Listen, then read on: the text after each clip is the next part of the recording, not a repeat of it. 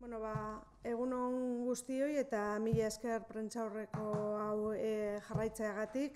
2008ko gizarte ekimeneko diru laguntzen delialdi berria aurkezte, aurkeztuko dugu gaur. Horretaz gain, 2008ko iasko balantzea ere egingo dugu gaur e, bertan. Ez? Gurekin batera, Diego Larrumbide dago, mila esker Diego etortzeagatik, e, bera da Sur Patriz Klubaren koordinatzailea, eta ba, esan duan bezala, mila esker etortzeagatik, eta baita ere ba, zuen proiektua denokin parte, partekatzeagatik, ez? Adin txikikoekin eta auskortasun egoera daudenekin egiten duzuen e, lana. Ezer baino lehen, azpimarratu nahi dut, diru laguntza hauek, Gipuzkoako hirugarren sektoreari zuzenduta daudela eta oinarrizkoak eh, direla sektorea indartzeko. Aldundiak urtero ateratzen duen eh, laguntza deialdia da eta aurten milioi bat eta berreun mila eh, euro bideratuko ditugu hirugarren sektoreko erakundeen gizarte ekimenera. Martxan dago ja da 2008ko deialdia, bihar bertan publikatuko da Gipuzkoako aldizkaria, aldizkari ofizialean, eta larun batean martxoaren zazpian irekiko da proposamenak eh, aurkesteko epea. Beraz, zabalik egongo da, e, martxoaren zazpitik apilila zeira bitartean. Mm? Deialdi honen bidez, e, laguntzen ditugu gizarte esku hartzeko programak, prebentzioko eta sensibilizazioko programak, gizarte behar berrien eta gizarte harretaren inguruko ikerketa eta berrikuntza proiektuak eta baita ekipamendua erosteko ere. Laguntza hauek babes handia ematen diete Gipuzkoako hirugarren sektoreko elkarte eta eragileei gure lurraldean bere izgarrietako bat dira garrantzia handia dutenak. Gure gizarte politiken ereduaren oinarrietako bat da hirugarren sektorea, beraz milioi bat eta berreun mila euro bideratuko ditugu aurten ere elkarte hauen gizarte ekimena sustatzeko. El programa de ayudas a la iniciativa social que hoy eh, presentamos es una convocatoria de ayudas ya consolidada en Guipúzcoa y es uno de los instrumentos por los cuales apoyamos eh, a la iniciativa social de entidades del tercer sector en Guipúzcoa, ¿no? este tercer sector tan característico y relevante en nuestro territorio. ¿no? Es, bueno, como decimos, uno de los pilares sobre los que se sustenta nuestro modelo de políticas sociales. Un año más destinamos eh, 1.200.000 euros para apoyar proyectos de intervención social, de prevención y sensibilización y proyectos también de investigación e innovación. Y por último, también apoyamos la adquisición de, de equipamiento. Si miramos eh, los diez últimos años, hemos destinado más de 9.600.000 euros para apoyar a, entidades de iniciativa social que desarrollan su labor en el ámbito de los servicios sociales. La última convocatoria y que hoy vamos a aprovechar para repasar es la del 2019 y hemos eh, ayudado, han recibido eh, ayuda desde, este, desde esta convocatoria un total de 370 nuevos proyectos de 143 entidades diferentes. Esto eh, da una suma de 25 proyectos y 12 entidades más que en el año 2018, lo cual pues, bueno, da eh, una idea de cómo la iniciativa social en Guipúzcoa eh, va, en aumento y es cada vez más, más activa. Se han priorizado, al igual que, que lo vamos a hacer en el 2020, aquellos proyectos de intervención social ya que bueno, pues resultan imprescindibles para avanzar en la inclusión social y en la consecución de, la igualdad de oportunidades de todas las personas. El desglose de la convocatoria del 2019 es el siguiente. 190 proyectos en intervención social de 99 entidades, eh, un total de 860.000 euros. 95 proyectos de prevención y sensibilización, presentados por 71 entidades, 250.000 euros, y 10 proyectos de investigación de 10 entidades que han recibido 40.000 euros.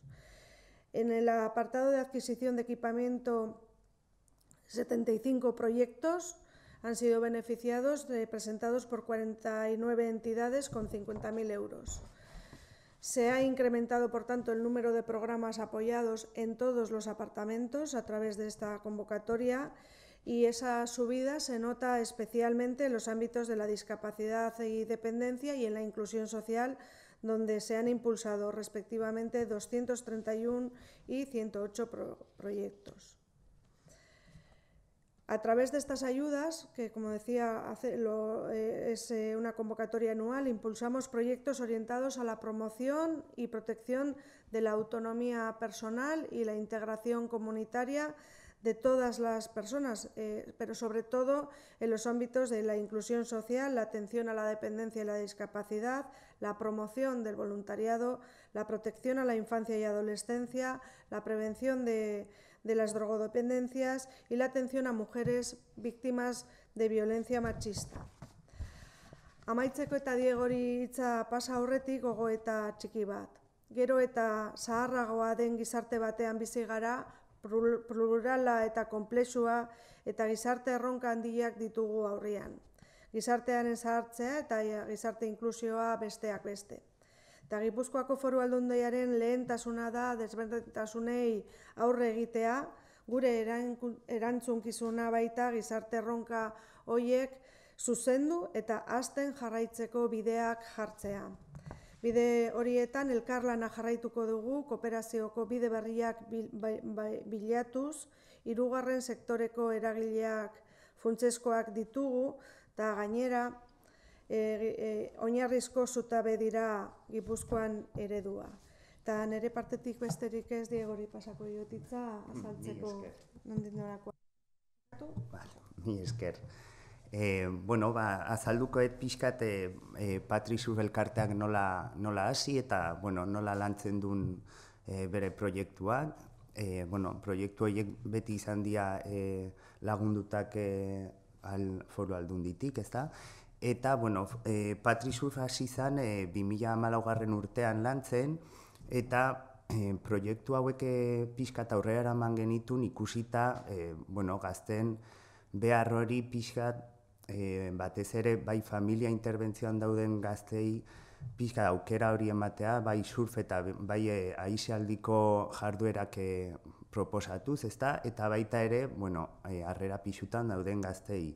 Azkenean, e, bueno, bizidia pixka e, oso kontekstu zaila, bai e, gizarte mailan eta e, aizialdia eta bai kirola, e, bueno, tresna bezala dazkane pausuak aurrera eraman da eta, eta abantaia horiek erabilita e, saiatu ginen pixa ba, hori integrazio lan hori egiten, e, bueno, ba, beste gaz, gazte batzuekin ez, ba, igual e, normalidadea bizi, bizi izan dutenak, ez? Eta pixkat, bueno, hori, ba, jase jurte dramagu lanean, e, geroz eta, eta gazte gehiagokin lantzen dugu, geroz eta e, entitate gehiagokin lantzen dugu, orduan e, batez ere e, ba, bueno, lana eta feedback egiten den lan modu hori oso aberatsa da, bai e, harrera pixu, pixuko ez landuta, eta baita ere, ba, bueno, aldundiko e, bueno, gizarte mailan lankideekin e, lanean pixkat e, oso ondo ikusten da bai e, bueno, gazte mailan zer nolako joerak mugitzen diran eta nola e, kirol mailan eta aisialdian nola lagundu dezaketen ba, pixkat e, bueno, zaitasun horiei e, buelta ematen, ez? E, bueno, erain gazteleraz e, berriz azalduko et pixka bat. Eh, bueno, Patrice empezó en 2014, es un, eh, como un club deportivo que fomenta el sur ¿no? y la práctica de, del ocio en, en, jóvenes y vimos eh, un, un, poquito una necesidad de ofrecer estas alternativas eh, como práctica para niños que están en, en familias de, en intervención, ya sea del ayuntamiento o diputaciones, y, un poquito también en, pisos tutelados por la Diputación de, Menores. ¿no? eh, y vimos cómo bueno, realmente funcionaba y realmente esa intervención mediante el deporte y mediante el ocio facilitaba eh, bueno, trabajar ciertos aspectos con los menores que quizá en su ámbito de, en, casa, ¿no? En, en, las familias o bien en los pisos, pues que era más difícil de trabajar. Y, y sobre todo, bueno, vimos cómo el trabajo en red que posibilitaba con diferentes entidades y, y bien con los eh, educadores o responsables de cada caso, ¿no? Era, era muy factible y era muy, muy bueno la resolución que, que, que venía ¿no? de, de todo este trabajo en red funcionaba realmente y ya son seis años eh, la Diputación nos ha apoyado en, en, dos programas diferentes. Uno sería el, el de surf, ¿no? que, que, llamamos un poco como ocio activo, que intentamos no solo centrarnos en el surf, sino también ampliar un poco la oferta cada vez y, y ofrecer a, a, más niños diferentes opciones. Y luego también un proyecto de conciliación familiar, que bueno, actualmente, y viendo la diversidad de familias que existen, ¿no? Pues era muy necesario el, poder ofrecer a las familias una opción de conciliar la vida laboral con los niños, ¿no? Y, nosotros es verdad que nos centramos en el ocio de los niños, pero siempre un poco como un recurso de, facilitar esa conciliación. Y, luego, bueno, no está de más decir también el, tema de material, que es un apoyo, que salgan esas ayudas de, de material de diputación, ¿no? Siempre es, es, una ayuda, el material sobre todo en según qué actividades pues, pues es más, más caro, más difícil de conseguir y, y siempre son beneficiosas las ayudas.